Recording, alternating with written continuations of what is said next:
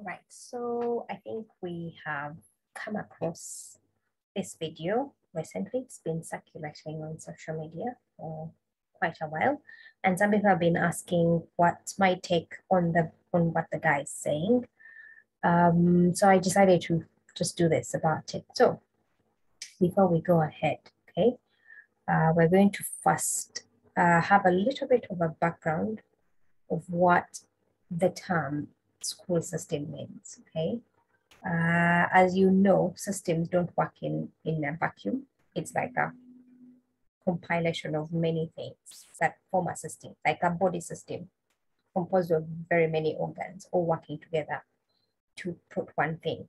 So to put something up straight, uh, when he's talking about the school system being outdated, what he's trying to say, literally, is everything that is pouring into um, learning and schooling, like school at the moment, is is pretty much out of use. Um, is is that true or false? Uh, how if it's true, how true, and if it's false, how how how how false is it? And that's what we're going to really be thinking through, right? Uh, one other background is why did education or school start in the first place? So a long time ago, people wanted um, to pass on certain skills that will help children to kind of be all rounded and fit in, not really fit in society, but be be able to uh, be productive in society. Okay, the main reason why people used to send began to send kids to school. It all started from home, okay?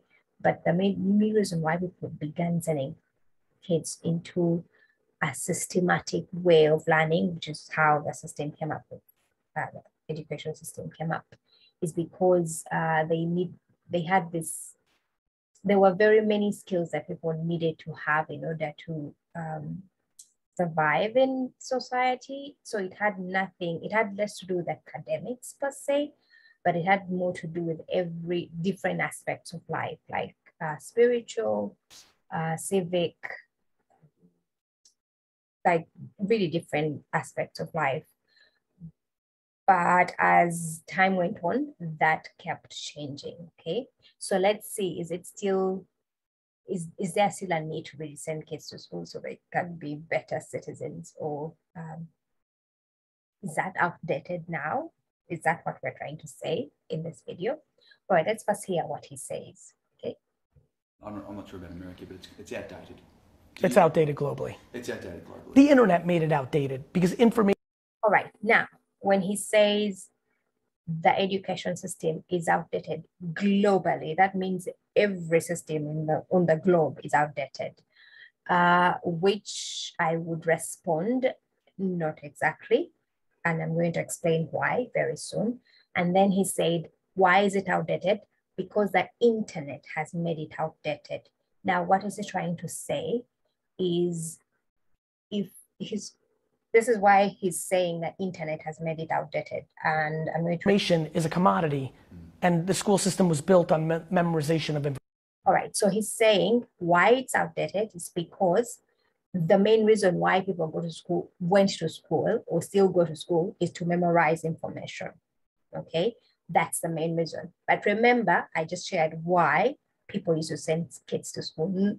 Memorize it, uh, having information was part of it, but it wasn't the main reason why people send kids to school. Okay, so he's saying uh, right now the internet has made it outdated because really we don't need to memorize information at all, and he's a hundred percent correct. However, I'm going to uh, take a few steps back and say people send kids to be able to learn how to be better citizens. So there's a huge difference between learning and um, and and what and and trying to uh, there's a huge difference between learning the aim for learning and literally focusing on sucking knowledge or reproducing uh, yeah reproducing knowledge okay when he says that the school system outdated because it's focusing more on memorization of information.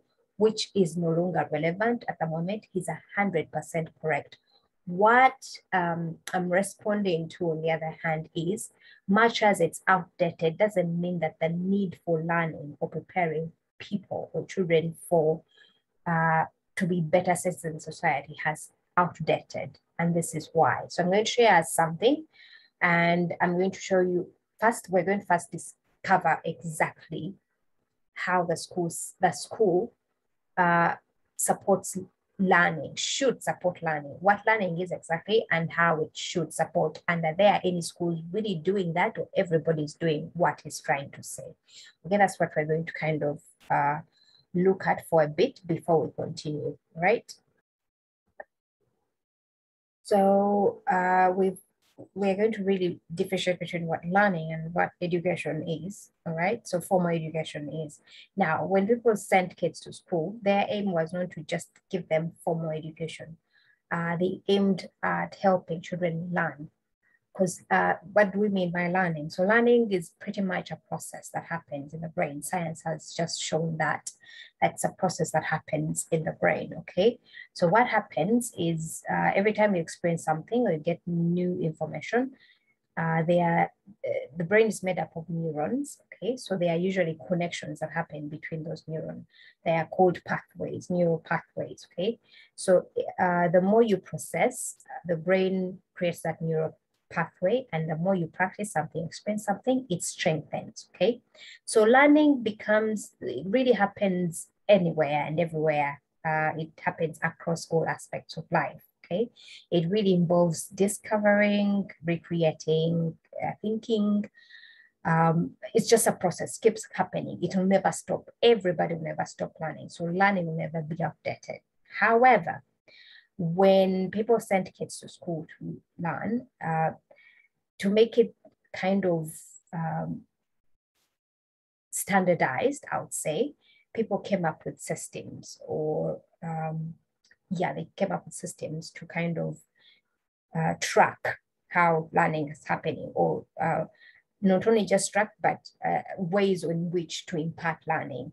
And eventually over time, um, before it used to really be flexible and it used to be so relevant to the market needs and to the society, uh, especially during the industrial revolution.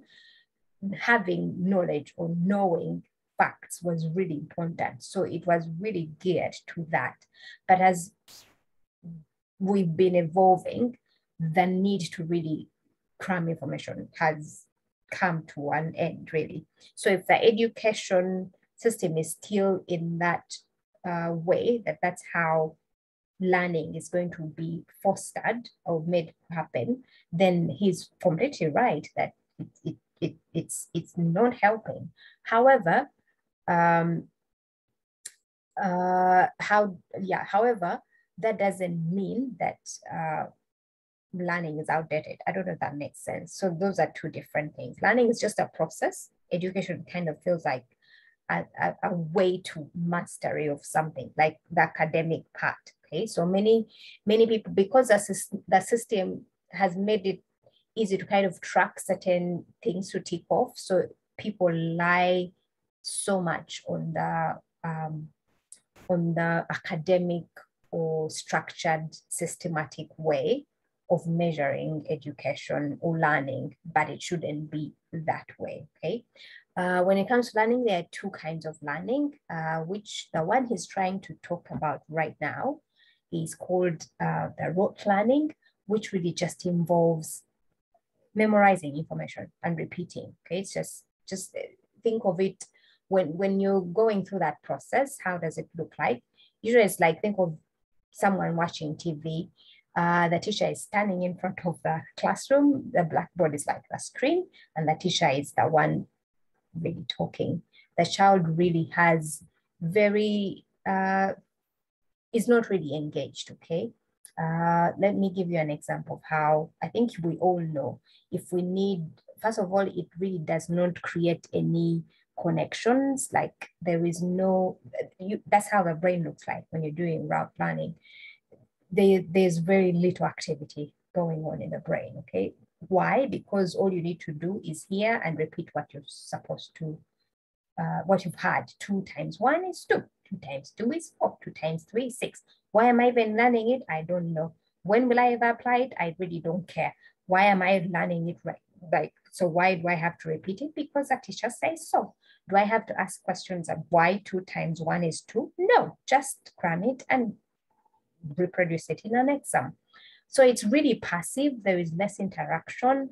It's it really can't happen without the teacher. The moment the teacher walks out, learning stops. Like in that context. Okay, uh, there peers no noise you have to be silent all the time noise is distraction so that's pretty much what sadly most of the classrooms have become but that's not the only way learning happens or education happens there are also people that try that different kind of learning which is called i call that deep learning what happens with deep learning is usually it involves interaction. Yeah, it involves making connections. Before I understand what a times table is, I need to know uh, background knowledge. I need to come from a place I understand uh, something. Yeah, I, I come from where I know to from known to unknown, so I can make those connections. I ask questions. Yeah, students ask questions. A teacher is not the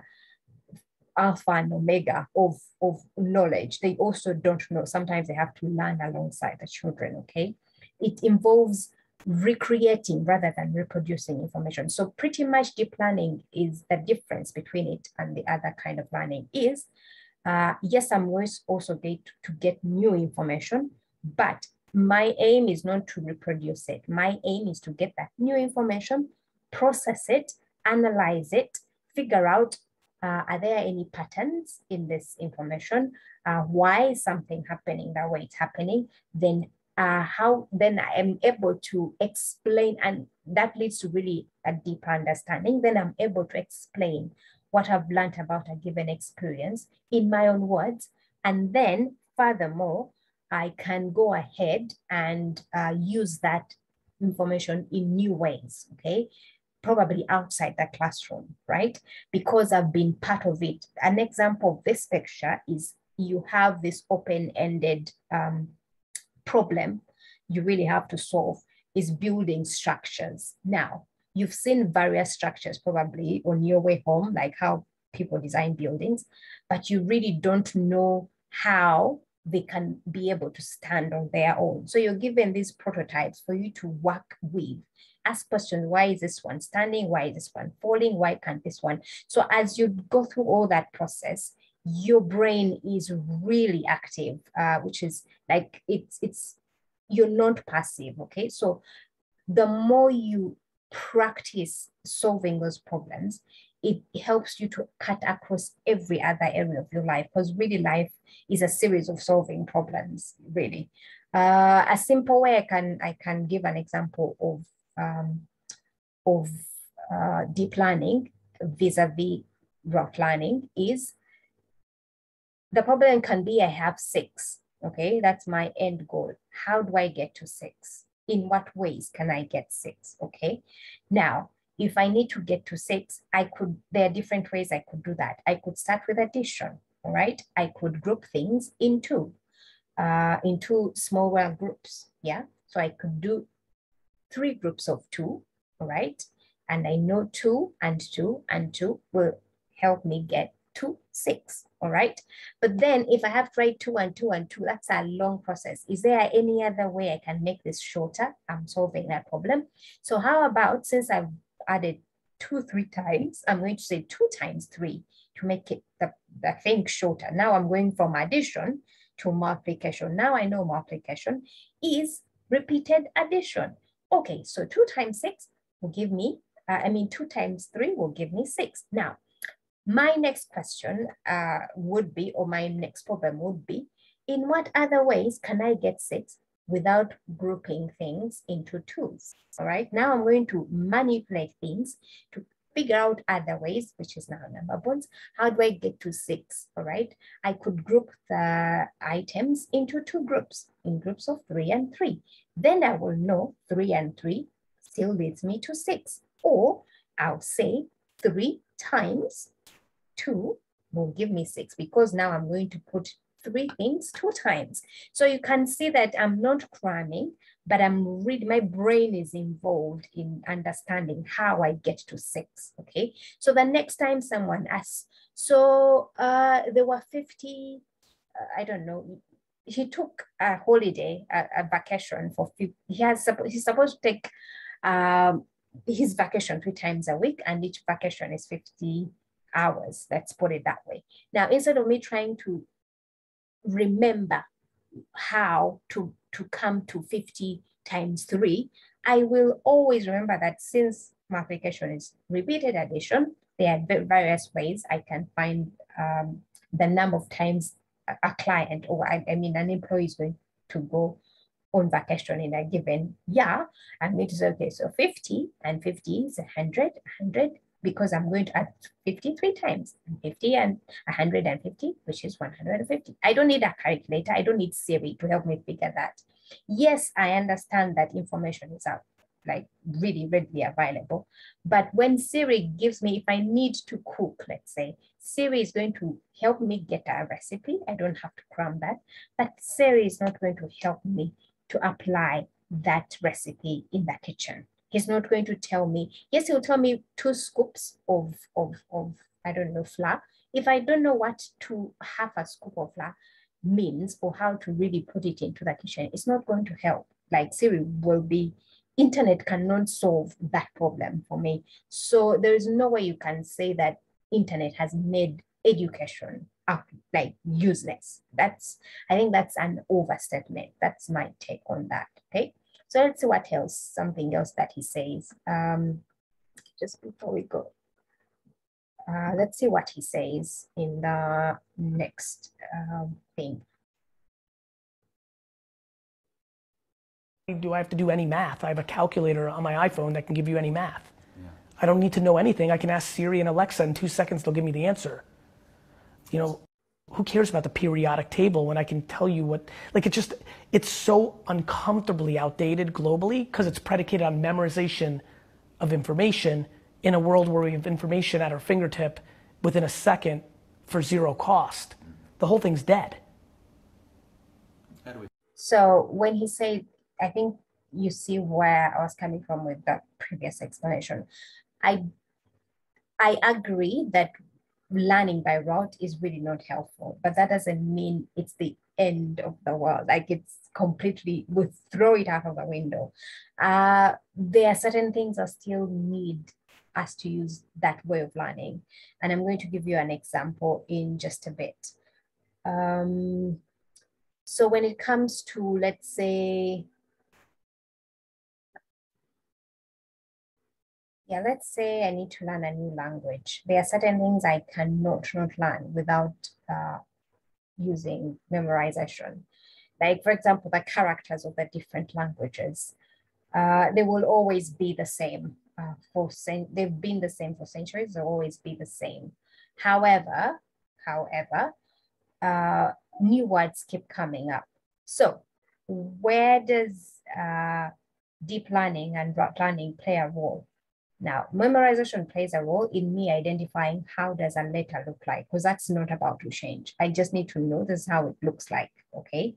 What sound for, uh, is given to each letter. I need to know that by rote. I just need to know that by memorization.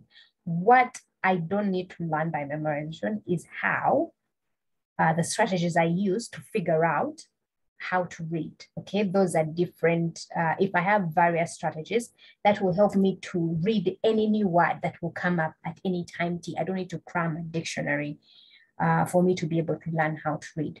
That's when the other kind of learning comes in. So in the at the end, um, if if for, for, for systems that rely more on memorization, he's completely right. Uh, they are not really helping, and which is majority of the systems, but there are systems as well, education systems out there, which I'll talk about in the second video.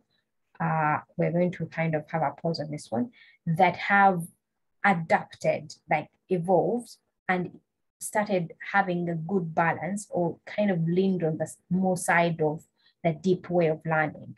And the more, uh, if a child gets that experience, it's just really helping them uh, learn how to solve problems that and then use that information that they get to be able to be applied in various areas of life. And that's still needed. Like that will never be updated. Uh, does it have to happen at school only? Not exactly. It can it can happen in various situations. I mean various settings. But to keep it um, what should i say? Like to keep it should i say systematic uh, organized. Some people prefer that it's in an institutionalized way. That's when the education system comes in. So he says one last thing that I'll need to comment on before we, we head out. And what? Uh, it's the parents' responsibility. Mm. It's the parents' responsibility to not buy into the self esteem wrapped up in your child going to a top university. Now, this is where I need to uh, respond as well. When you say now, what can we do different or how can we change it? Uh, and you say it's a parent responsibility. There's there's so much truth to that. However, because it's a system, there's there's there are so many things that are involved as well. There are schools as institutions, owners of schools. There are governments they're um, both local and then the international like it's a huge system. Like it's not just the responsibility of our parents the responsibility of every single person that is feeding into the system to do something about it. However parents have so much power that they don't even know. Uh, use your power to your advantage. Find out exactly what is my school giving my child? What kind of learning is my child getting in a certain setting? Find out, don't just, uh, many, especially in our country, many parents are being deceived by fancy buildings. Having a huge building, and that's where this guy is right, is people send kids just to show off, which is going to be in my next uh, uh, video. I don't want to go down in that. But the challenge I leave with parents right now is instead of uh, thinking, oh, let me throw in a towel, everything is useless. I think it's just a wake up call to be more keen to identify is my child really learning? Yeah, wherever I'm taking them, how are they learning? What are they learning? And how is that going to help them in real life? Right? I think I, I will leave it at that. Okay. So if you want to find out in the next video, don't forget to clearly subscribe or click the like button. So when I upload the second video, you will have a notification to find out uh, when it is uploaded. See you in the next video.